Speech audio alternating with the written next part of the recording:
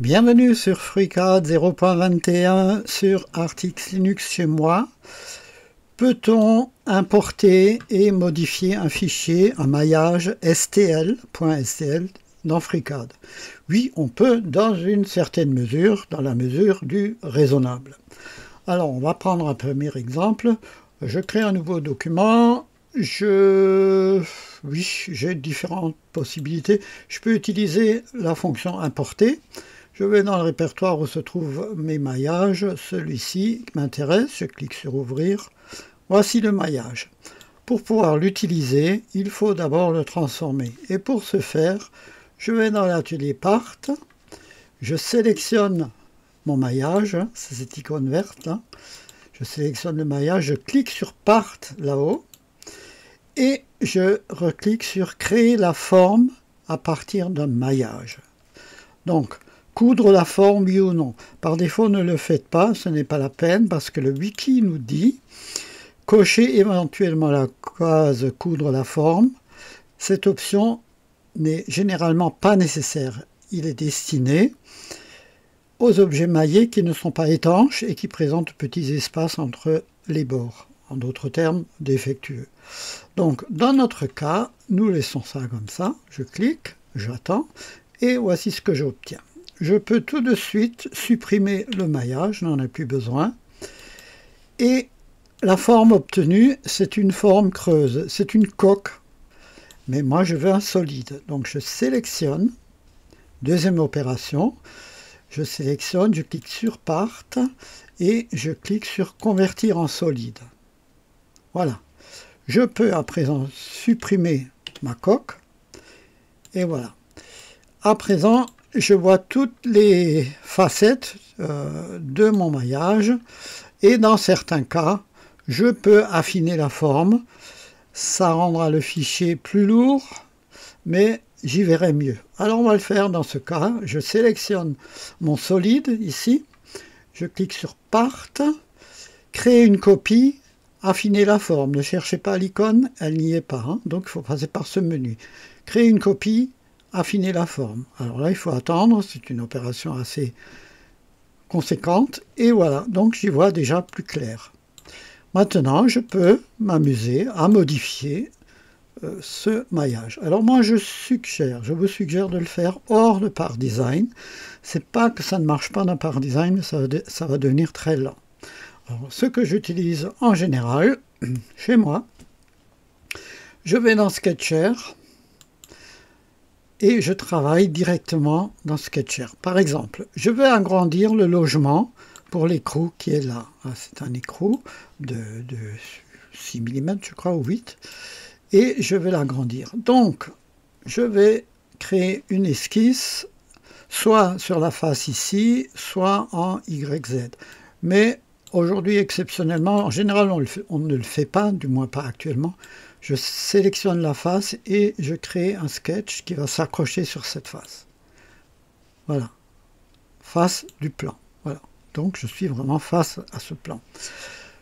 Je peux donc créer maintenant une géométrie externe et je vais sélectionner par exemple ce point. Voilà. Qui m'intéresse. Je peux créer un polygone régulier, un hexagone pour être exact. Voilà, je crée un hexagone. Voilà. Je vais sélectionner ce point, cette euh, géométrie externe, ce point, et je presse H de mon clavier ou je clique là-dessus pour aligner horizontalement ces trois points. Voilà, comme ça je suis centré hein, du même coup et à l'horizontale. Reste à définir le diamètre de mon logement. Donc ça va être I ou cette icône et j'indique mes 10.3 mm, 0.3 pour avoir un peu de jeu. Voilà. Maintenant, dans l'atelier Part, je n'ai pas de possibilité de créer une cavité. Par contre, on peut faire la chose suivante, c'est ce qu'on fait, euh, c'est ce qu'on faisait avant, ce qu'on fait toujours dans Part. Je sélectionne l'esquisse, je clique sur euh, extrusion, et j'indique la hauteur de mon extrusion. Je sais que mon écrou fait à peu près 3 mm. je vais indiquer 3 mm, même s'il dépasse un peu, voilà, 3 mm.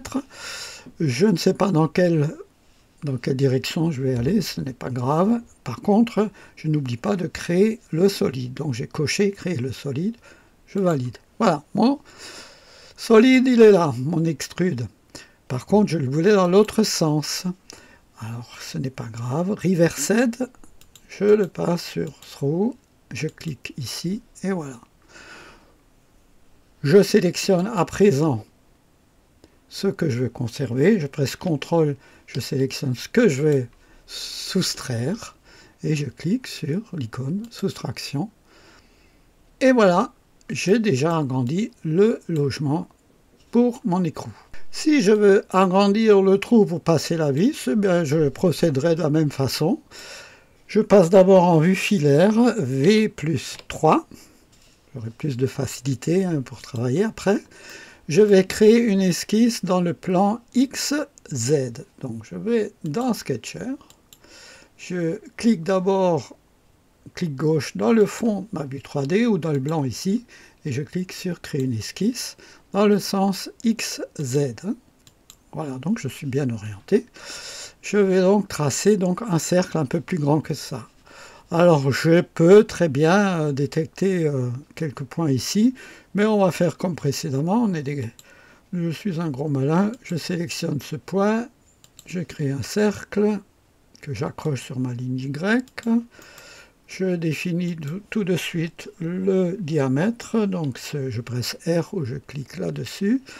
J'indique 6.3 euh, mm et je sélectionne ces deux points et je presse sur H. Voilà, je couche toujours ces deux lignes. Et voilà, je suis complètement contraint. Mon esquisse est au milieu. Je vais m'en servir pour créer, comme précédemment, un solide. Je clique sur euh, extrusion. Dans ce cas-là, ce sera une extrusion symétrique qui va aller d'un côté et de l'autre. Donc je coche symétrique. Je vais carrément mettre 50 mm et je coche sur OK. Voilà, j'ai donc un solide que je ne vois pas encore. Je presse V plus 1, ou ça se passe ici, comme actuellement, hein, voilà, V plus 1. Je sélectionne ce que je veux conserver, c'est-à-dire mon code précédent, contrôle maintenu, ce que je vais enlever, et je clique sur soustraction. Voilà, le trou est agrandi je peux mailler et je peux imprimer. Je peux même modifier encore. Je vais vous montrer un petit truc sympathique, comme j'ai une belle face ici. Il y a dans Draft un outil qui est sympathique. Si je veux prolonger cette pièce, je sélectionne la face, je clique là-dessus. Je vais là.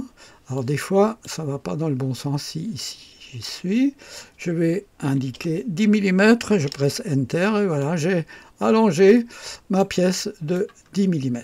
Voilà, ça c'est un cas de figure assez simple.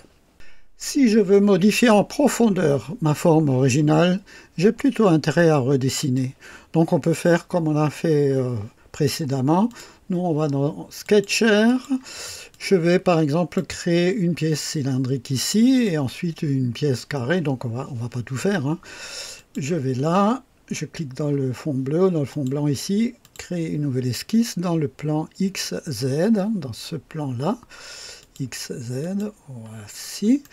Je vais peut-être passer en mode euh, filaire, voilà.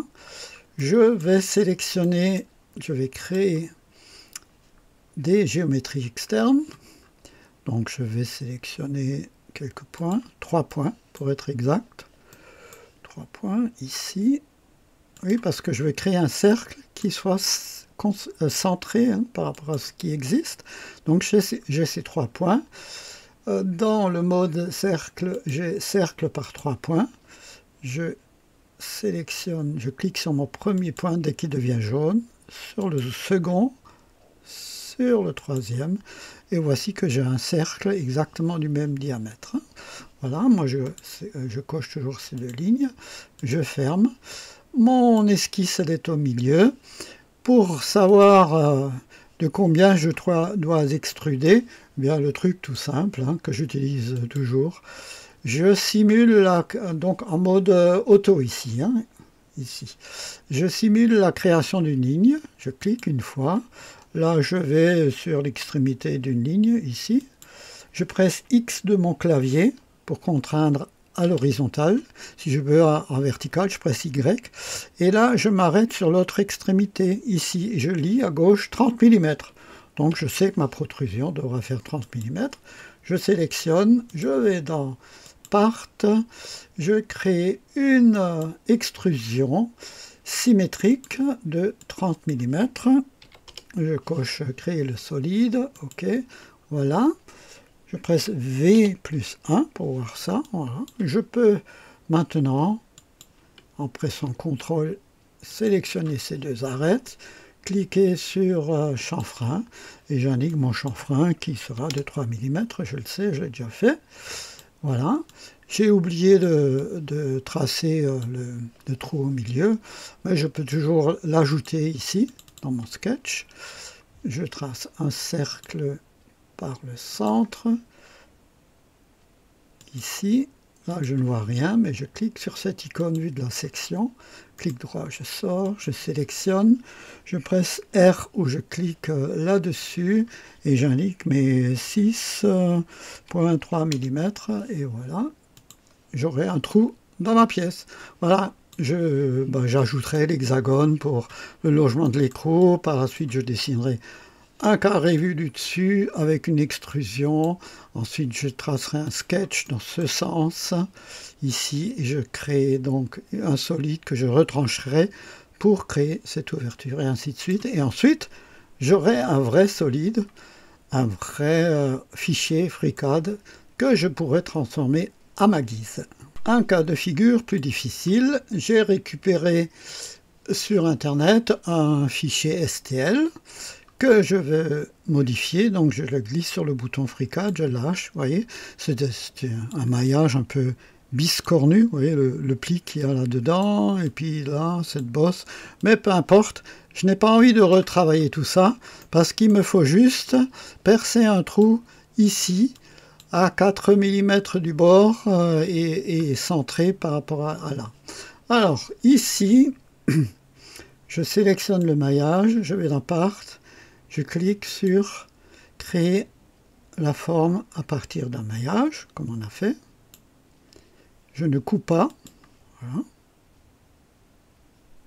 Ah, c'est plus long, hein, c'est une grosse pièce. Je supprime tout de suite le maillage, je sélectionne le moteur et je, convertis en solide. Là aussi, j'attends parce que là, c'est plus long. Hein. parce que en a. Voilà. Donc, je peux supprimer le solide premier et j'ai ça. Voilà, alors c'est ce solide, je ne vais pas, je ne vais pas passer par euh, part, euh, créer une copie, euh, affiner la forme. Ça va être très long, ça va être très lourd et ça ne m'apportera rien. Parce que moi je veux percer un trou ici, au milieu par rapport à, à, à cette cavité et à 4 mm du bord. Comment fais-je pour euh, positionner correctement un cercle sur cette face, sur ce plan? Euh, Parce que là, il y a beaucoup de, traits, etc. Et eh bien, ce n'est pas si compliqué, vous verrez. Je vais dans l'atelier Sketcher. Je sélectionne la face, ou une des faces ici, pour avoir le bon plan. Hein. et je clique sur euh, Créer une esquisse, face du plan. Voilà. Donc, je suis déjà sur le bon plan. Mais, euh, mais je n'y vois rien parce qu'il y a, d'autres lignes qui, masquent tout ça. Alors comment faire? Je presse Alt sur Windows, Alt plus CTRL sur Linux XFCE et là je peux pivoter. Notez, moi j'utilise gesture, donc pivoter c'est clic gauche et déplacer c'est clic droit. Hein. Donc je peux me déplacer ici. Je vais faire même un clic du milieu de ma souris. Je presse sur la molette pour centrer cette pièce dans la vue, donc Alt plus CTRL, et je peux donc pivoter jusqu'à ce que je vois cette arête. Celle-ci, elle m'intéresse. Donc je clique sur créer une géométrie externe. Voilà, j'en ai une là. Je vais prendre celle-là, je n'en aurai pas besoin, mais je la prends. Alors pareil, Alt plus CTRL, clic gauche maintenu, avec gesture. Clic droit, je me déplace. Et je vais sélectionner cette arête-ci. Voilà. Donc j'ai créé mes géométries externes.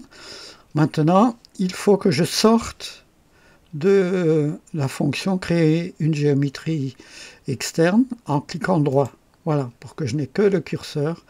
À ce moment-là seulement, je peux cliquer droit sur moteur ici et cliquer sur basculer la visibilité. Et vous voyez, si je regarde ça de l'avant, j'ai mes géométries de externe. Je peux donc me débrouiller très bien à partir de là. Je clique sur euh, basculer le mode de la géométrie de construction. Les icônes deviennent bleues. Je trace, je crée une ligne qui va de là à là. Elle est bien horizontale, j'ai le symbole qui apparaît là. Clic droit, je sors. Je sélectionne ce point, ce point de l'arête externe ici, et je définis la hauteur en pressant I ou en cliquant là-dessus, et j'indique mes 4 mm. Voilà, donc ça c'est bien. Je rebascule en mode construction, les icônes deviennent blanches ou grises, comme on veut, et je trace en cercle. Je crée mon cercle, clic droit, je sors, je le sélectionne, je presse R ou je clique là-dessus et j'indique mes 6 mm de diamètre. Je veux créer une symétrie entre ces deux points et ce centre, donc je sélectionne ce point, ce point sans presser CTRL hein, dans l'édition du Sketcher, hein, quand on édite un Sketcher. Un sketch. Voilà, j'ai sélectionné les trois points, je presse S ou je clique sur contrainte symétrique. Et voilà mon cercle il est bien positionné il n'y a pas de problème. Je peux donc cliquer droit là dessus basculer la visibilité j'ai donc mon mon cercle qui est exactement à la bonne euh, position etc il ne faut pas que j'oublie de fermer l'édition donc euh, fermer l'outil sketcher et je peux à présent créer la chose suivante, comme on a fait avant. Je vais dans Part, je sélectionne Sketch, créer une extrusion. Je vais aller vers ici et vers là, donc c'est symétrique. Je coche symétrique, je coche créer le solide. Et je vais carrément y aller 50 mm. Voilà, je clique sur OK. Et voilà, j'ai un petit cylindre qui va me percer qui va me percer tout cela. C'est-à-dire, je sélectionne le solide, je presse CTRL, je sélectionne l'extrude. Et je clique sur soustraction ici. Et j'attends que ça se passe. C'est assez long, hein, c'est normal, hein, parce qu'il y a beaucoup de, facettes à retravailler. Et voilà, mon, ma pièce, elle est percée. Donc oui, on arrive à modifier des maillages STL dans FreeCAD et surtout euh, des pièces euh, complexes comme ici qui, qui sont trop difficiles, voire impossibles à remodéliser grâce aux outils qu'on a utilisés aujourd'hui, Sketcher, Part et Draft. Voilà, j'espère que ce tuto pourra vous servir à l'occasion et je vous dis à bientôt pour d'autres vidéos.